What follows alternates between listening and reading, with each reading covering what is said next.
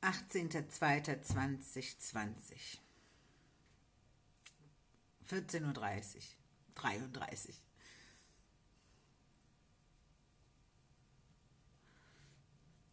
Как дела, Андрей? Все хорошо?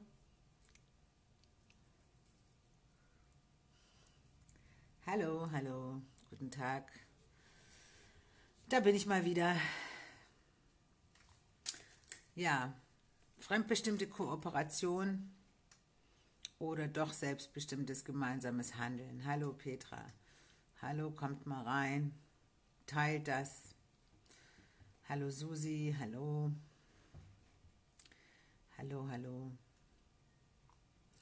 Ja, ich habe jetzt mal ein paar Themen die, die meinen Nachrichtenkanal auf Telegram kennen, die haben sich ja auch schon gut informiert, denke ich mal. Hallo, Johann. Guten Morgen, Stefan. Hallo, hallo. So, jetzt habe ich schon mehr begrüßt, als hier dran stehen, wie immer. Ähm, ja, ist auch völlig egal, wie viel da stehen. Hm, ich wollte heute mal äh, reden über ein paar Themen und da habe ich mir den Herrn Merz rausgesucht, denn da ging es jetzt um einen Artikel.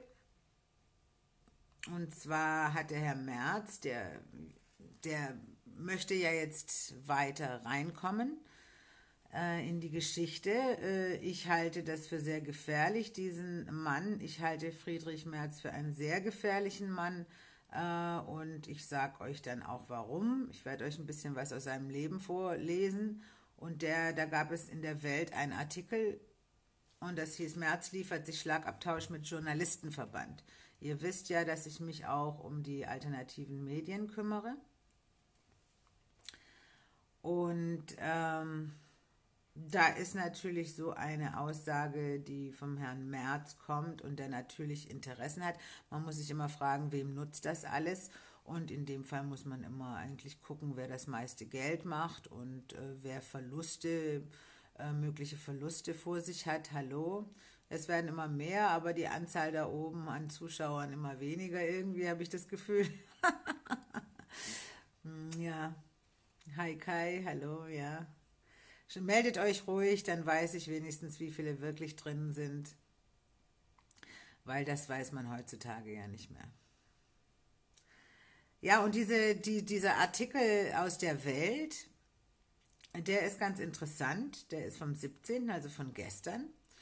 Und äh, das möchte ich euch gerne mal vorlesen und dann auch mal ein bisschen darüber sprechen, wer denn dieser Friedrich Merz überhaupt ist. Und was das bedeuten würde vielleicht auch für Deutschland, wenn Friedrich Merz, was eigentlich wenn man jetzt immer gehört hat, hallo Bernd, Cosmo, hallo, äh, hallo Christian. Ähm, das Ding ist ja, viele reden immer über den Deep State, also der Staat un unterm Staat sozusagen, verdeckter Staat. Wer, wer hat da eigentlich das Sagen? Inzwischen wissen wir, dass es ganz große Kooperationen sind, also äh, Corporations, das heißt auf Deutsch große Firmen. Hallo Rolf, hallo. Und die drehen das Ding, das sind Lobbyisten. Er ist auch ein Lobbyist, der Friedrich Merz. Und wir werden nachher gucken, was für eine Art von Lobbyist er ist. Also er hat fast überall die Hände drin, zumindest überall da, wo es um viel, viel Geld geht. Ähm, und jetzt, da ja die Situation in der CDU nicht besonders gut ist und die Frau Merkel ja auch irgendwie total abbaut, äh, wobei sie in meinen Augen immer schon abgebaut war, die Frau Merkel ist äh, eine Frau, die ich ja, wie ihr wisst, äh, schon lange nicht mehr ernst nehme, zumindest seitdem sie gesagt hat, dass sie glücklich ist, dass Osama bin Laden getötet wurde. Seitdem ist sie für mich komplett undemokratisch, also zumindest hat es mit unserer Verfassung, mit Grundgesetz nichts zu tun. Hallo, hallo aus der Schweiz, hallo. Ihr könnt gerne das Video teilen. Heute geht es mehr um den Friedrich Merz und seine Vorschläge, weil, wie gesagt, ich halte ihn für sehr gefährlich für Deutschland. Ähm, und ich denke, da deswegen ist er auch wieder auf der Bühne der Politik, denn er hat ja massiv viel Geld verdient in der Zwischenzeit, in den 2000er Jahren und äh, hat seine Finger überall drin, auch in den Cum-Ex-Geschichten. Das können wir dann nachher noch durchgehen. Jetzt geht es um einen Artikel und zwar um den Journalismus. Er hat jetzt also einen Artikel, also er hat ein Interview gegeben.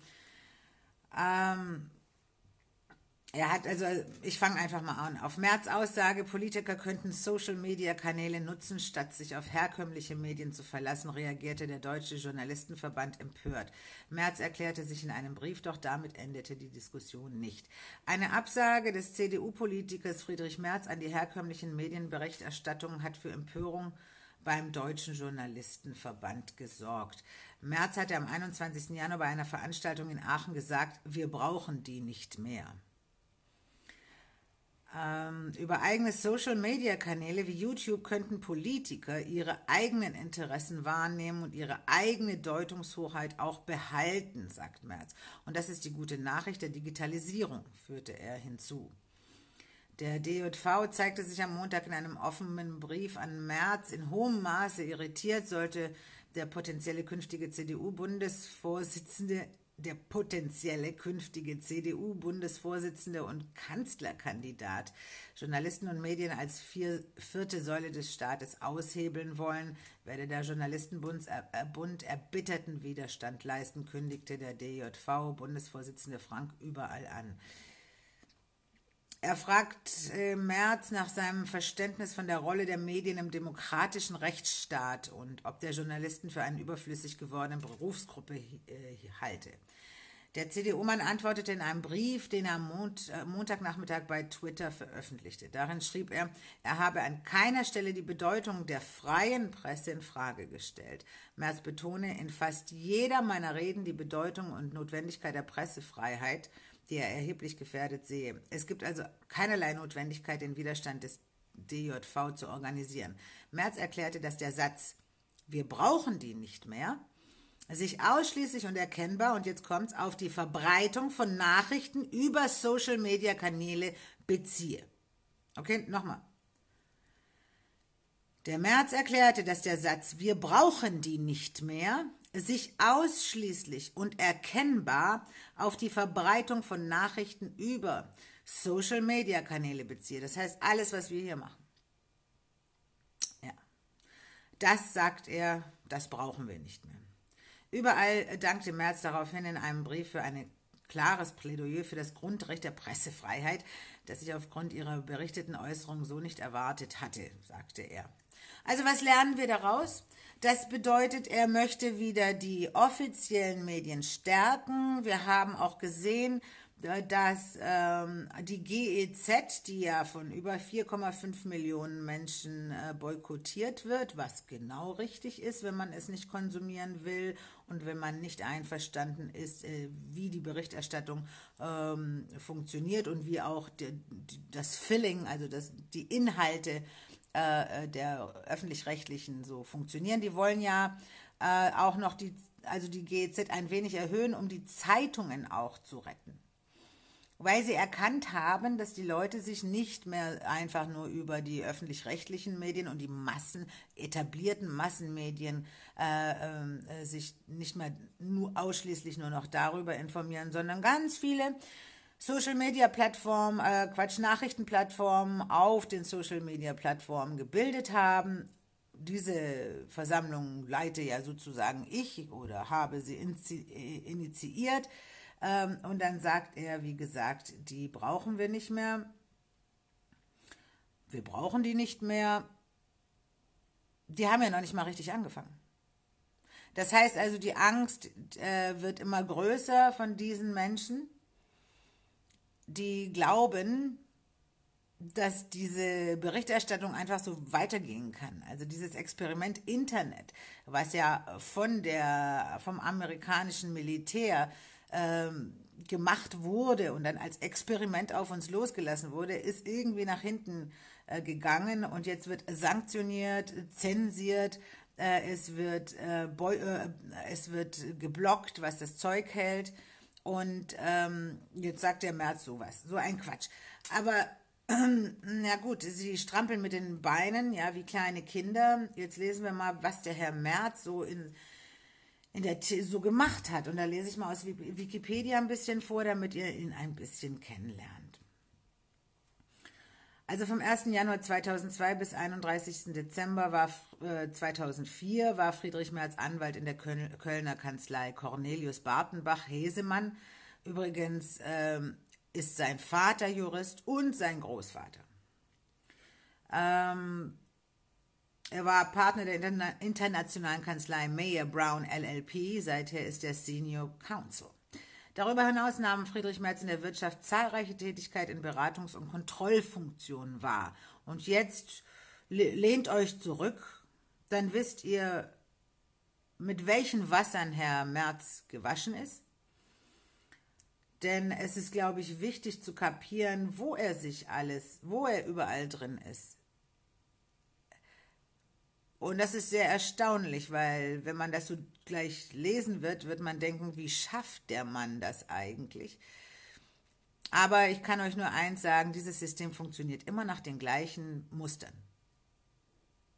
Und zwar geht es nur um Geld. So profan ist es. Aber ich lese es euch vor, wo man überall so Geld verdienen kann. Hm? Im Januar 2010 wurde er in den Verwaltungsrat von HSBC Trinkhaus und Burkhardt auch mit drin. Martina Blackrock kommt auch noch. Ja, das ist halt ein, ein Teil Blackrock, ne? Er, er ist fast überall drin. HSBC, Trinkhaus und Burkhardt waren auch im Cum-Ex-Geschäften, mit den Cum-Ex-Geschäften voll mit drin einer Tochtergesellschaft der HSBC Holding Ping, äh, Pick äh, Place in Hongkong und Shanghai Banking Corporation. Das heißt, er hat schon investiert in, die, äh, in den asiatischen Markt. Ne? Berufen, wo er die Nachfolge des verstorbenen Otto Graf Lambsdorff als Vorsitzender antrat. Im Juni 2010 wurde März vom Bankenrettungsfonds Sofin, damit also er wurde auch noch beauftragt von der Bankenrettungsfonds, obwohl er in den Aufsichtsräten der Banken ist. Ihr seht, sie pimpern sich alle gegenseitig. Damit beauftragt, den Verkaufsprozess der WestLB an einen privaten Investor zu leiten. Ja, da hat er auch ziemlich viel Geld verdient. Im gleichen Monat wurde er in den Aufsichtsrat, äh, Aufsichtsrat von HSBC Trinkhaus und Burkhardt gewählt. Nach Beginn der Verhandlungen über einen Teilverkauf der WestLB in, mit HSBC Trinkhaus und Burkhardt endete seine Tätigkeit mit dem Mai 2011. Einige Medien vermuteten einen Interessenkonflikt wegen seiner Mitgliedschaft in der HSBC Aufsichtsrat, was Merz natürlich zurückwies, ist doch klar. Die mit März vereinbarte Höhe des Honorars lag nach unbestätigten Medienberichten bei 5000 Euro pro Kalendertag. Dem Bundesverband Deutscher Unternehmensberater BDU zufolge sei ein derartiger Tagessatz nicht völlig unüblich, aber an der oberen Grenze. Frontal 21 kritisierte des März 5000 Euro pro Tag auch samstags und sonntags insgesamt 1.980.000 Euro für 396 Tage für erfolglose Arbeit vom Steuerzahler erhielt. 1.980.000 für 396 Tage. Merz gehörte den Aufsichtsräten der AXA-Konzern AG, also Versicherung auch noch. Äh, bis 30. Juni 2014 war er da. Der DBV Winterthur Holding AG, nochmal Versicherung. Der Deutschen Börse AG, Geld an der Börse. Und der IVG Immobilien, auch noch die Immobilien, bis 2010. Ferner gehörte Merz den Beiträgen der Borussia Dortmund Gesellschaft, äh, äh, Geschäftsführung Ach, auch noch im Fußball. Und der Commerzbank. Ach, noch eine Bank. Äh, bis äh, Ende 2009. Und am 30. November 2010 wurde Merz bei der Jahreshauptversammlung von Borussia Dortmund in den Aufsichtsrat gewählt. Er ist einfach toll, dieser Merz. Zum Ende des Geschäftsjahres 2013-14 trat Merz aus persönlichen Gründen von diesem Amt zurück. Merz war darüber hinaus Mitglied des Verwaltungsrates der BASF Antwerpen, also auch noch Richtig übel. Chemiekonzern. Also wo war er jetzt? Im Sport? In den Banken? In Versicherungen? Ähm, einfach überall. Und in der Chemie. Seit 2019 ist er Vorsitzende des Aufsichtsrates der, der WPA Industrieholding. Naja, in der ganzen Industrie sozusagen. Weiterhin ist Merz Mitglied im Verwaltungsrat der Stadler AG. Seit Dezember 17 ist er Aufsichtsratsvorsitzender der Flughafen Köln-Bonn, also auch noch die Flughäfen. Versteht ihr? Jetzt versteht ihr langsam, was Deep State bedeutet. Das ist ein Typ. Ein Typ ist in 20, 30 solchen Aufsichtsräten drin. Einer. Die drehen das ganze Ding mit ein paar hundert Leuten auf der Welt. Und er ist halt ein ziemlich großer für Deutschland, für den Deep State Deutschland. Seit März 2016 ist er als Aufsichtsvorsitzender und Lobby Lobbyist für den deutschen Ableger des weltweit größten Vermögensverwalters BlackRock. Die sind ja, wie wir wissen, in 17.000 bis 18.000. Man kann es gar nicht wissen genau, weil man nicht alles angeben muss. Also wenn man unter eineinhalb Prozent äh, Beteiligung an einer Firma ist oder an einem Geschäft, dann muss man das nicht äh, offenlegen. Stefan sagt, der Mann hat Connections. Oh, der hat Connections. Und wir sollten uns auch unsere Connections warm halten. Und zwar die, die wir jetzt aufbauen, um dieses System zu verändern. Lernt daraus. Kennst du die Regeln, weißt du, wie du sie brichst. Kennst du sie nicht, brechen sie dicht, verdammt nochmal. Merkt ihr nicht, was die Leute hier machen? Für mich ist es völlig klar, was sie hier machen. Die drehen das Ding für uns. Und wir, äh, was passiert denn da? Oh Gott, was passiert denn mit uns?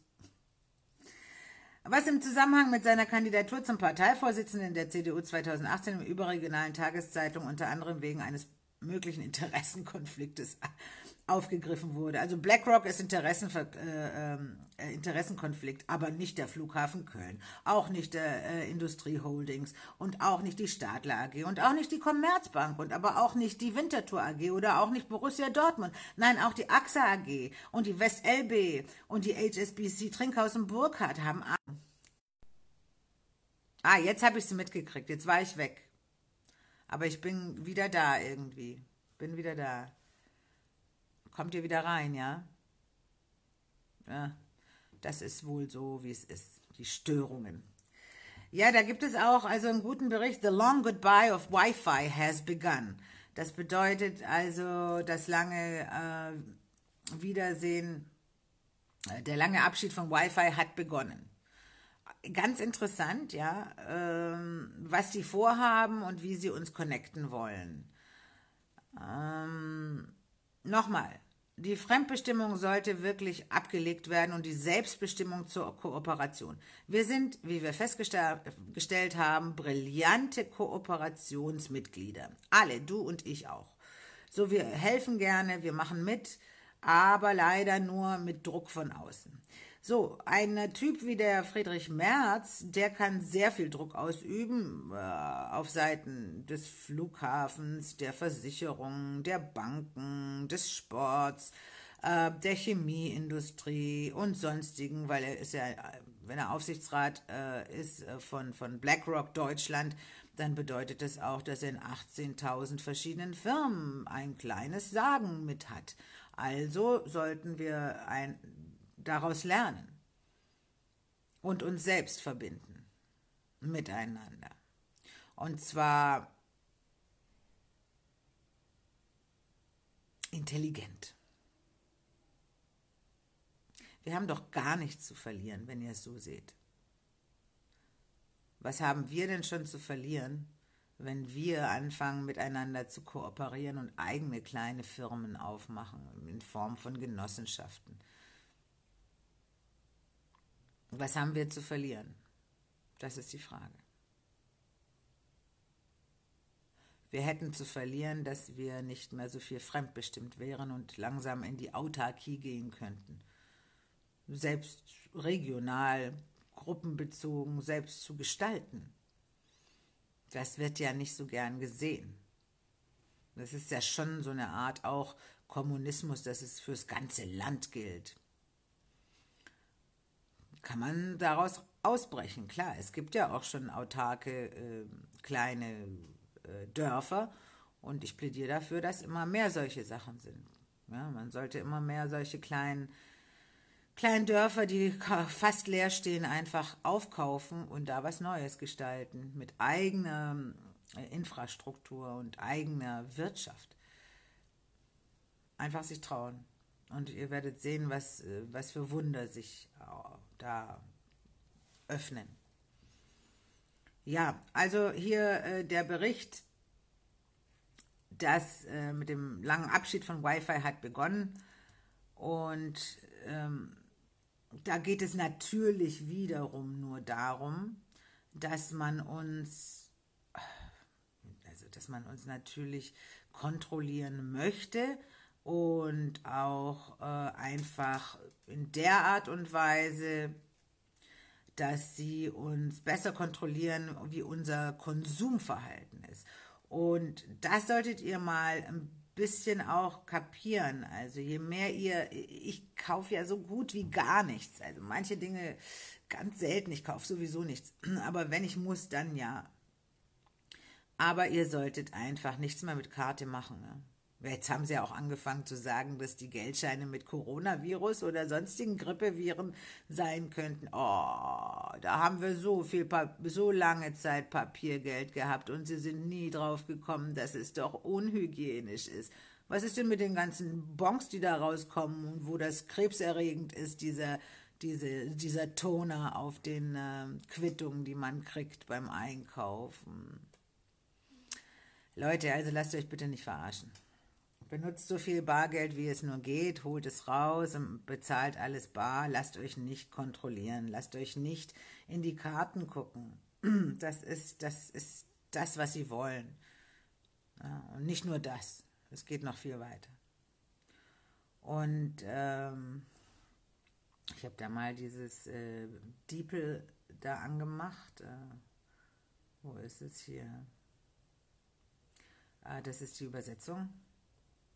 Ja, ist er hier. Supala sagt, das Unternehmen Mobilfunkmodule gegenüber Wi-Fi wählen, weil die Module einfacher einzurichten sind und die Unternehmen die Erfahrung der Verbraucher besser kontrollieren können.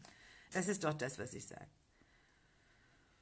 Also, dass sie wollen so, so eine Art, ähm, ich lese es einfach mal vor, damit ihr das versteht. Es ist auch für mich erstmal, ich bin jetzt kein so Computerfreak und auch kein Zukunftsfreak ehrlich gesagt. Aber sie wollen einfach alles miteinander verbinden in dieser Smart, in dieser Smart Future, wo man eigentlich schon alles weiß, was der Konsument so alles braucht. Also es gibt Grund zu der Annahme, dass Hussein recht hat, also zumindest für hochwertige Geräte wie medizinische Geräte, Haushaltsgeräte und Geräte für den Außenbereich wie Poolreinigungsroboter Zach Supala, der CEO von Particle, einem Unternehmen des äh, LOT-Komponenten, ein Unternehmen mit wenig Erfahrung im Bau von verbundenen Produkten liefert, sagt, dass mehr als die Hälfte der LOT-Geräte in der Wolke von Particle die zellulare Verbindung nutzen, ebenfalls in Reichweite eines Wi-Fi-Netzes liegen. Also das sind so zellulare Geschichten, die also jetzt auch schon langsam eingesetzt werden, wie zum Beispiel bei den selbstfahrenden Autos oder auch ähm, mit dieser iWatch, wo du also alles ähm, kontrollieren kannst, von Blutdruck bis Herzfrequenzen, Schweiß, äh, Kalorienaufnahme und so weiter. Also ich finde es furchtbar, ich möchte sowas nicht und diese Leute sollten auch keine Subventionen bekommen und schon gar keine Steuergelder. Das müssen wir Bürger einfach selbst äh, besprechen und das nicht mehr denen überlassen. Geht da nicht nur das komplette Handverfahren gespeichert bei Teradata und danach bekommst du deine Werbung zugesendet. Ja, es geht ja nur noch im Grunde alles um Geld und das, dieser Wert muss sich ändern. Wir haben es ja tausendmal gesagt. Nutzt es dem Menschen, nutzt es der Umwelt, nutzt es dem Frieden. Ja, also wir sollten hier aufbauen und ich werde mich auch in Zukunft mehr darauf konzentrieren, was es alles gibt für Möglichkeiten. Ja, ich meine, das, was der Herr Merz jetzt gesagt hat und was ich hier vorgetragen habe, dem versuche ich ja mit jetzt inzwischen 78 verschiedenen alternativen Medien entgegenzuwirken. Weil wir kapiert haben, was hier läuft. Und so muss man das in jeder einzelnen kleinen äh, Sparte machen. Also das sind jetzt die Medien. Und nochmal, eine Indoktrination findet durch drei Säulen statt. Eine Indoktrination der ganzen Gesellschaft. Ob das in einem Kommunismus, Diktatur oder in einer komischen, merkwürdigen, kapitalistischen äh, repräsentativen Demokratie stattfindet, ist eigentlich völlig wurscht. Das ist eigentlich überall das Gleiche. Das ist die Bildung, da werden die großgezogen. Und dann sind es die Medien, da haben wir ja gerade das Problem. Und die politischen Rahmenbedingungen. Und diese drei müssen eine Agenda bilden und dann geht es. Und wir müssen diese drei, drei Säulen auch alle abdecken. Und dafür brauchen wir halt nun mal Menschen alle äh, sammeln beim Finanzamt in den Briefkasten, können sie doch entsorgen. ja, genau. Also diese drei Säulen Bildung, das bedeutet, wir müssen neue Schulen bauen, Leute, neue Schulen machen, uns darüber Gedanken machen, wie wir die Leute erziehen wollen, die Menschen, die kleinen Menschen. Die Bildung an den Hochschulen, die muss frei sein, auch für die Wissenschaftler, das habe ich schon tausendmal gesagt. Dann die Medien, darum kümmern wir uns ja inzwischen, Gott sei Dank. Es hat zwar lang gedauert, aber wir kommen voran bei den alternativen Medien und wollen das auch stärken. Und da denken wir ganz sehr wohl darüber nach, welche Art von Berichterstattung gibt es denn in der Zukunft? Welche wollen wir denn? Wollen wir nicht auch mal positive, die ganzen Nachrichten immer das Gleiche, immer das Gleiche, immer nur Angst und, und, äh, und, und, und vor allem Krieg. Also ich kann es nicht mehr hören und ich will mich auch davon, ich meine, das sind doch einfach Soziopathen, Psychopathen. Ähm, ich habe hier gerade einen Bericht offen, könnt ihr auch angucken von Free 21 hatte der Hermann Plopper mal geschrieben, äh, im November letzten Jahres. Also 6,4 Millionen Dollar wurden ausgegeben für die Kriege nach 9-11 und insgesamt gab es 3,4 Millionen Tote. Von was reden wir eigentlich? Von was reden wir, wenn die das nicht wissen wollen? Äh, wenn die Menschen das so verdrängen, dass es 3,4 Millionen Tote gab seit 9-11 durch den War on Terror, dann kann man nicht mehr sagen, die Leute verstehen dann aber wahrscheinlich nicht, dass sie in einer Gewaltherrschaft leben. Und dieses, diese Gewaltherrschaft wird von uns allen durch unseren Konsum und durch unsere Arbeit in diesen Firmen, die alle zusammengehören, äh, einfach mitgestaltet. Deswegen raus da und rein in eine neue. Ja, hört auf, da so viel zu meckern. Es ist jetzt inzwischen allen klar, wie es funktioniert. Die Strukturen, was nutzt es denn, sich jedes Mal total aufzuregen und zu sagen, oh, hast du das gelesen, hast du das gehört, oh Gott, hast du das, hast du gehört, dass es aus dem Labor kommt, hast du gehört, was mit Impfungen passiert, hast du gehört, was sie mit der Luft machen, hast du es gesehen, was sie da machen mit der Erde, hast du das gesehen, wie sie die Massentierhaltung, hast du gesehen, ja, haben wir. Haben wir. Und jede neue, äh, jede neue Information, die wir bekommen, das beruht auf den gleichen Strukturen.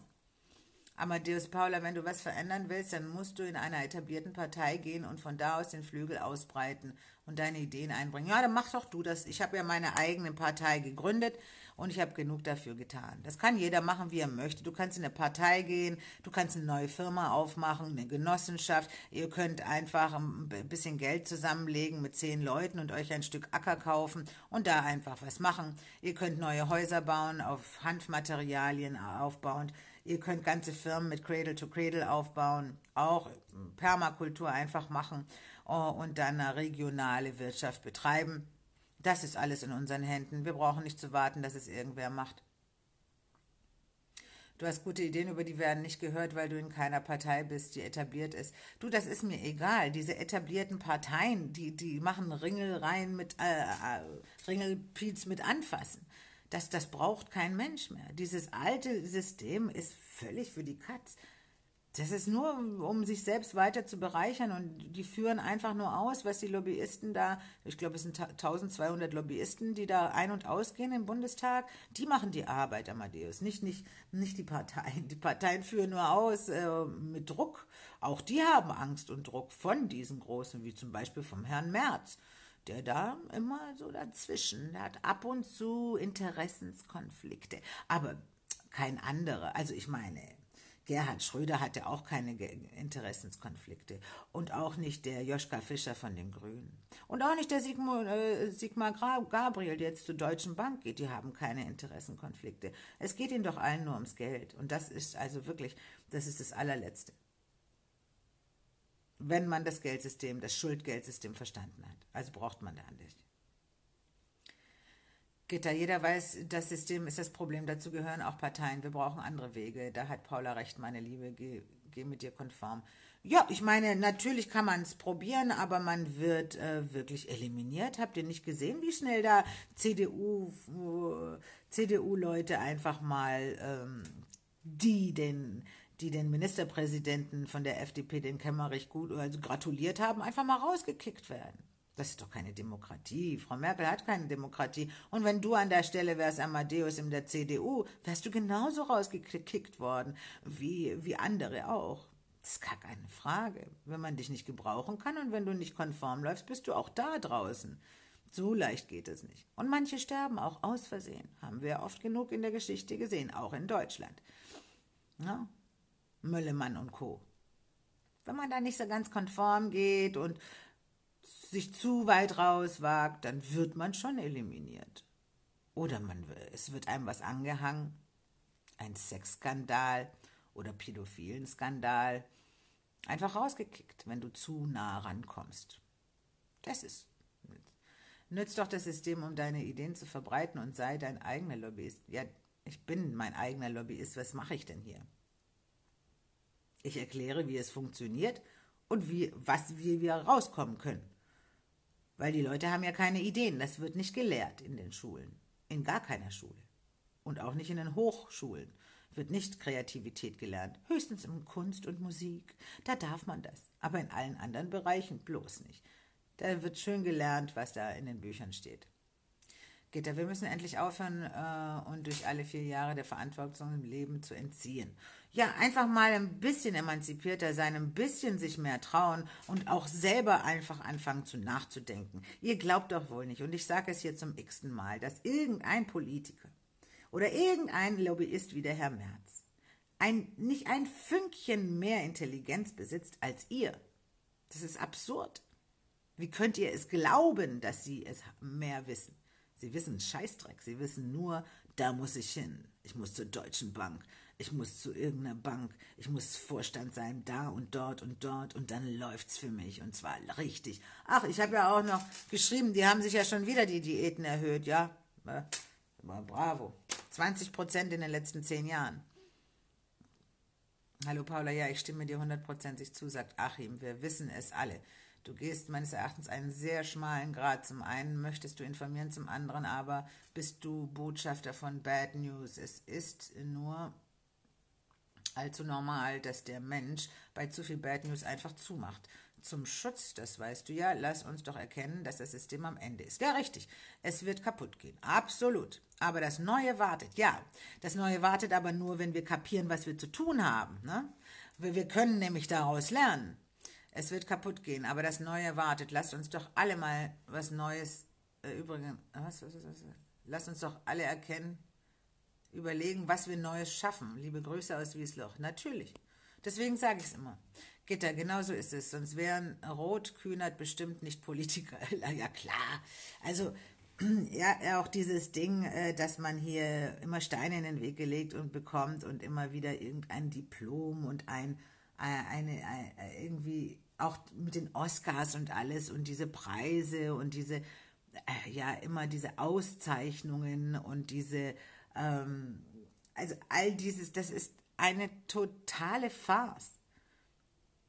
Hier werden alle ausgezeichnet, die diesem System so treu dienen, dass mir schon schlecht wird.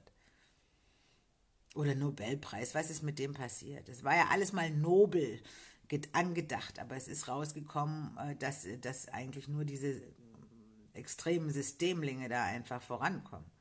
Nun, jetzt wird auch die Mittelschicht ange, richtig angekratzt. Jetzt äh, die nächsten zwei, drei Jahre werden Ärzte, Architekten und so weiter, alle, die ein bisschen mehr verdienen, werden jetzt drankommen. Und die werden das Kotzen kriegen, wenn sie ihre Schuldkredite nicht mehr zahlen können für ihren to tollen to Porsche Cayennes und ihre großen Häuser und ihre schönen langen Flüge und Urlaube und alles, was sie da benötigen und ihre Designermode, die total überbewertet ist. All das wird fallen. Und ich bin ja froh darüber. Weil das ist ja auch der Grund, warum, warum diese Welt. Übrigens hat er auch noch, der Herr Merz hat auch noch zwei Privatjets. Der ist Privatflieger. Da muss er natürlich Geld immer ranholen, weil so, so eine Wartung und, und so ein. Äh, so, so zwei Flugzeuge machen verdammt viel Arbeit. Ich weiß ja auch, ähm, ich kenne ja auch einige, die Yachten haben. Das kostet unheimlich viel, die immer wieder unterm Boden sauber zu machen. Die, die Plätze, die, die, die, die Parkplätze sozusagen auch noch zu bezahlen das ganze Jahr über. Da muss immer wieder Geld nachfließen, Geld nachfließen, weil das kostet Unmengen an Geld. Aber sie hören nicht auf. Sie hören nicht auf. Und Soros in seinem, George Soros in seinem Alter hört ja nicht auf. Sie hören nicht auf. Bill Gates und Melinda Gates, warum entspannen die, die sich nicht einfach? Warum wollen sie immer mehr Geld machen mit Impfstoffen. Warum hören sie nicht auf? Warum bleiben sie nicht einfach mal schön zu Hause in ihrem Liegestuhl und genießen das Leben? Weil sie nicht können. Sie sind süchtig nach mehr. Nach immer mehr. Und das ist auch das, was, äh, was wir verstehen müssen, dass dieses immer mehr äh, süchtig machen kann. Viele sind ja süchtig, viele sind fernsehsüchtig, viele sind konsumsüchtig. Sie gehen shoppen und fühlen sich wohl danach und denken, sie müssen sich, ich kann es ja verstehen, sie müssen sich belohnen für diese Drecksarbeit, die sie leisten müssen. Aber das ist kein Belohnen, das ist ein, ein Ansporn für diese, für diese Gesellschaft. Und die haben ja auch mal so eine, so eine Statistik gemacht in, in den U-Bahnen, ja. Wenn es besonders stressig ist in der U-Bahn und viele Leute sind, wird am meisten übers Internet verkauft von den Handys. Das heißt, je, je gestresster der Mensch ist, desto mehr kauft er. Also, was gilt es? Den Stresspegel zu reduzieren, sich mit sich selbst äh, auseinanderzusetzen, die meisten Dinge selbst zu tun, sich mehr Zeit zu geben, weil die, kommt, der wahre Luxus heutzutage ist doch wirklich Lebenszeit, muss man einfach mal sagen. Die Lebenszeit ist der wahre Luxus. Alles andere, du kannst dir eigentlich alles machen mit deiner Zeit. Und natürlich die gesetzlichen Rahmenbedingungen, die können sich aber ändern, indem wir, äh, geht denn jetzt irgendeiner auf die Straße? Habt ihr immer noch irgendwie so, außer ein paar kleine, kleine Runden, geht denn massiv jemand auf die Straße wegen diesem Demokratie, sagen wir mal, Putsch, Demokratieputsches in Thüringen? Sehe ich da eineinhalb Millionen oder fünf Millionen Menschen, die sagen, hallo, akzeptiert Demokratie? Nein, nein, nein. Ich schätze mal, dass dann, müsste man mal echt gucken, nach Thüringen, ich glaube, der Konsum ist hochgegangen. Das ist innerer Stress, dann wird es Wut und dann will man kaufen. Kannst du mir begründen, sagt Amadeus, was deine Gründe sind, in einer Partei zu gehen, damit du das veränderst, was du sagst? Auch wenn du rausgeschmissen wirst, wird die anderen, ist das doch egal. Aber deine Reichweite für die guten Ideen, die du hast, werden dir weiter folgen. Nee, das ist nicht so. Ich sehe das anders. Ich möchte mit Menschen, die so eine negative, kaputte Energie haben, überhaupt nichts zu tun haben. Diese Menschen werden auf uns zukommen, wenn wir was Neues erschaffen. Denn sie sind gewohnt, einfach anderen hinterher zu trotten. Und dann müssen wir das halt erschaffen. Kein Problem.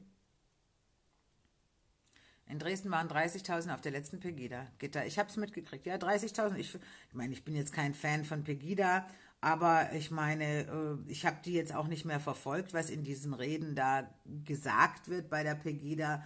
Ähm, ich finde es trotzdem gut, dass die Menschen irgendwie da, da wenigstens was tun.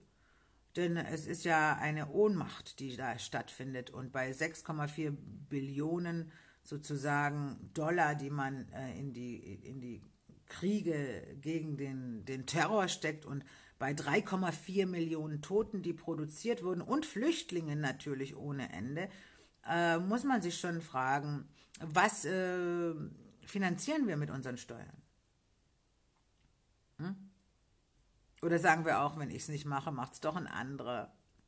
Das wäre sehr traurig wenn wir äh, es die Veränderung nicht machen, macht es kein anderer. Das ist richtig. Wenn wir die Veränderung nicht rein, reinbringen, dann macht es kein anderer.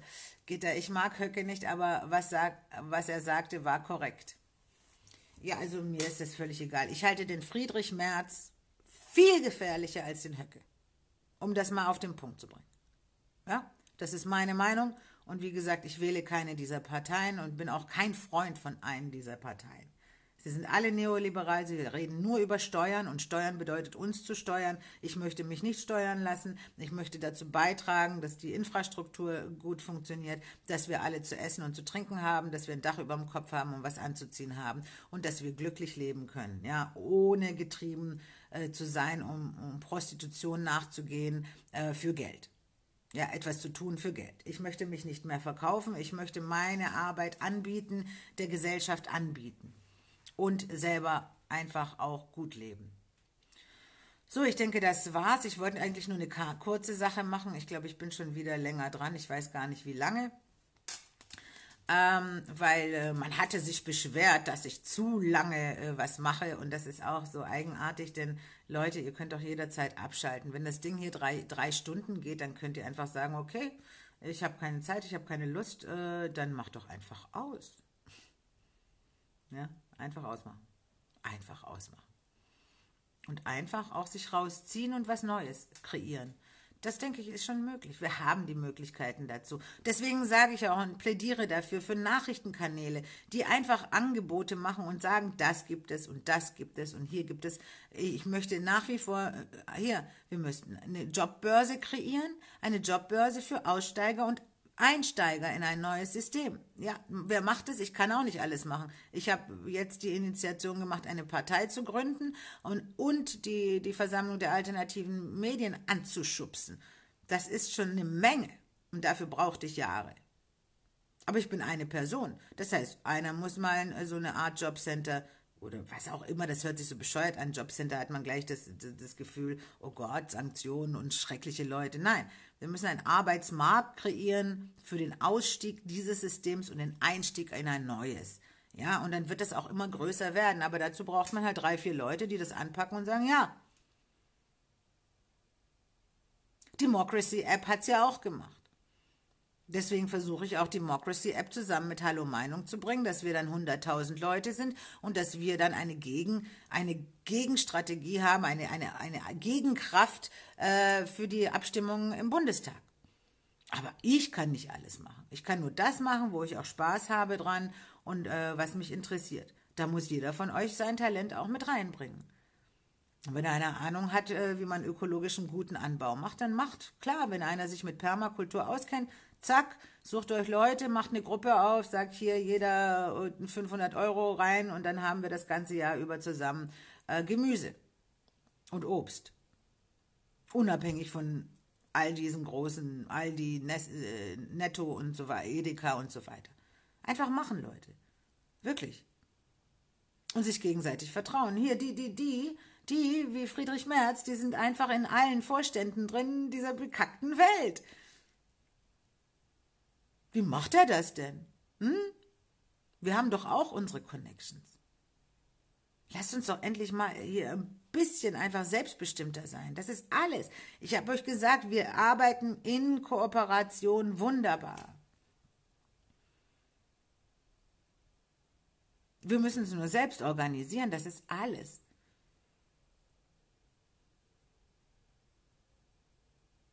Also, das war die Sendung über Friedrich Merz und seine Gedanken.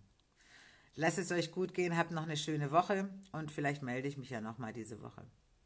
Ich ruhe mich aus, weil ich habe die letzten zwei Wochen nur Gäste zu Besuch gehabt. Internationale Gäste haben bei mir geschlafen äh, alles Aktivisten von dieser Welt und äh, gute Menschen, die was verändern wollen. Und ich mache meine Gespräche, mache meine Connections, mache ich schon die ganze Zeit. Ja, also das, was ihr hier von mir seht, ist doch nur ein kleiner Bruchteil. Was meint ihr, was ich den ganzen Tag mache?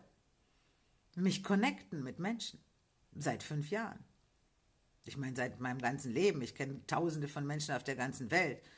Das ist auch gut so. Wir müssen uns connecten. Das ist viel Arbeit, das braucht Zeit, weil wenn du arbeiten gehst für dieses System, hast du keine Zeit, dich zu connecten. Also, denkt ein bisschen drüber nach.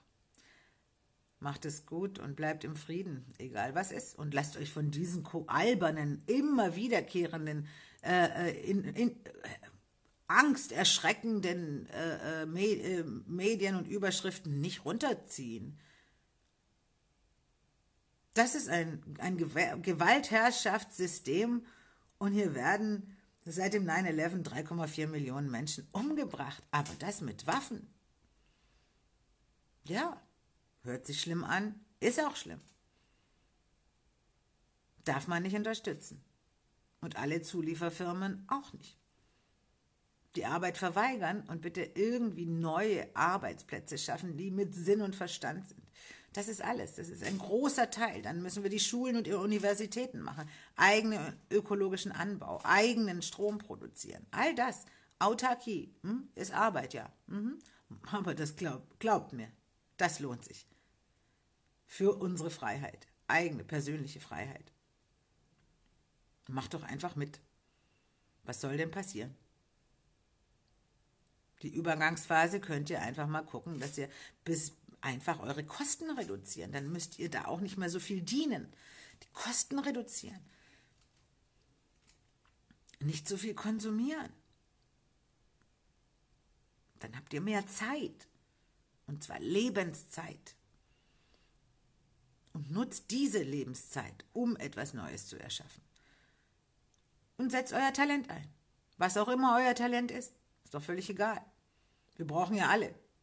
Wir brauchen Handwerker, wir brauchen Architekten, wir brauchen Wissenschaftler, wir brauchen Musiker, wir brauchen Philosophen, wir brauchen Denker, wir brauchen alles brauchen wir. Ärzte, alles. Wir sind es. Wir sind der Schlüssel. Nicht ein Friedrich Merz. der hat die Schlüssel. Aber so macht man es überall rein und alles neu machen. Alles neu. Ist verdammt viel Arbeit, aber dann stehen sie im Leeren.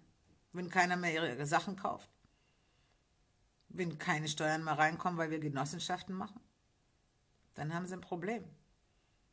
Oder vielleicht wachen sie dann auf und ver verstehen, dass man mit über 90 Jahren nicht noch Milliarden horden muss. Wie dumm. Also, alles Gute und lasst es euch gut gehen. Bis zum nächsten Mal. Ciao.